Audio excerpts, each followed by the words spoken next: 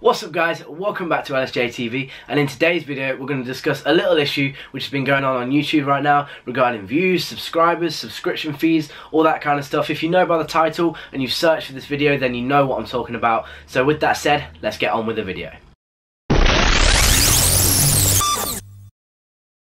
So as you guys know, YouTube is currently going through a lot of changes. They've kind of got rid of, trying to get rid of the subscription feed, keeping the recommended feed, pushing the recommended feed and sort of leaving the subscription one into the background. But nobody really knows why. Purely because that is the kind of connection that YouTube has built with its subscribers. YouTube is so popular. The reason why YouTube is so wildly popular is because it's feels like a community. You can in interact with your subscribers, interact with everybody. Everyone can leave comments, leave likes, even leave dislikes, whether it's positive or negative. There's so much interaction on, on YouTube, and it just feels like such a community that people can buy into, people love, and have grown to know a lot. But that's changing, and nobody really knows why. So unless you've been living in a cardboard box, you don't have Facebook, Twitter, anything like that, everybody knows who PewDiePie is, the most subscribed YouTuber out there. 50 million subscribers this guy has. And basically what he's found out over the last couple of months since YouTube made these changes is that his subscriber rates have gone down. If you look at his analytics, the subscribers have gone down, viewers have gone down, everything has slowed down but nobody, again, knows why. It's not just people like PewDiePie, there's fitness, lifestyle YouTubers like myself, Christian Guzman, Rob Lipsett, everybody. If you've heard of those people, you know what I'm talking about. They have experienced these changes as well. But it's not just a problem for the big YouTubers, it's also a problem for people like me. I'm close to 200 subscribers, right? I'm on 196 at the time of filming this video. That has been fluctuating so much since these algorithms have come in. Now before these changes came into place a couple of months ago, I averaged I'd say 120 plus views a video.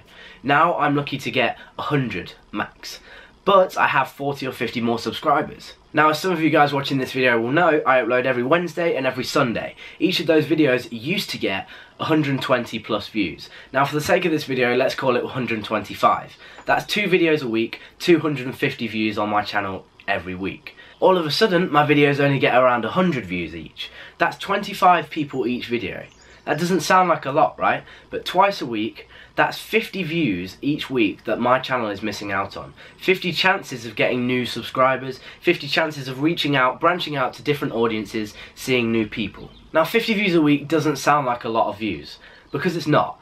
But when you think about it in the grand scheme of things, 50 views a week equals 200 views a month. 200 views a month is almost 2,500 views a year.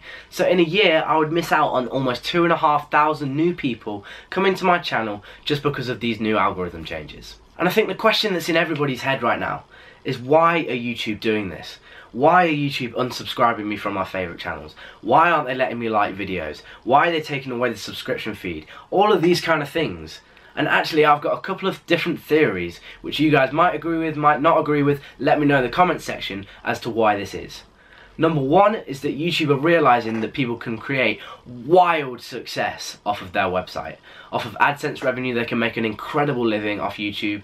People like Casey Neistat, PewDiePie, the list could go on and on and on. Fitness YouTubers, lifestyle vloggers, everything. People can make a lot of money from YouTube. And let's be honest, there's a pretty big chance that YouTube aren't too happy with people like Casey Neistat making all this money off their website without them really having a say in it. I personally believe that one of the reasons is because on demand, using the internet to watch TV, to watch anything online, is becoming more popular than ever. There's statistics that show that TV is going down and on demand is going up. By on demand I mean things like Netflix, Amazon Prime, BBC iPlayer and of course YouTube. And because of this wild popularity increase when it comes to YouTube, people like Casey Neistat are able to make hundreds of thousands of pounds every single month. And the chances are YouTube are maybe trying to cut down on that. Again, I don't know why, I can't give you these answers. I'm opening this up to the comment section for you guys to have a good discussion about this. Let me know your thoughts in the comment section as the video goes on, guys. So as I say, with people getting wild success on YouTube, there's a lot of people trying to jump on that bandwagon, make their channel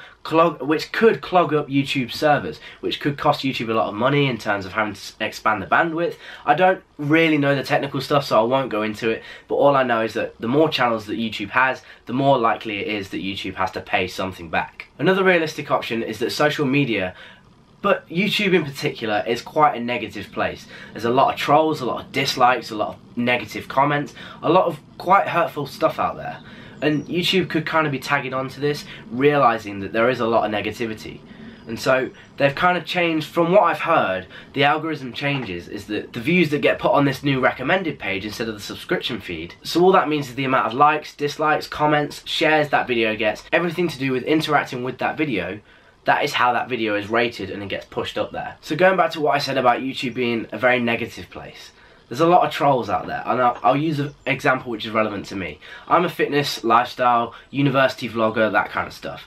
Christian Guzman is very similar. If you don't know him, Google him. I'll, I'll uh, link his channel in the description. But he gets a lot of negative comments in terms of clickbait. It's not really clickbait because what actually happens in that video is in the title, but it's just to entice you a little bit. So anyway, the point is there can be a lot of dislikes, a lot of negative comments in the comment section.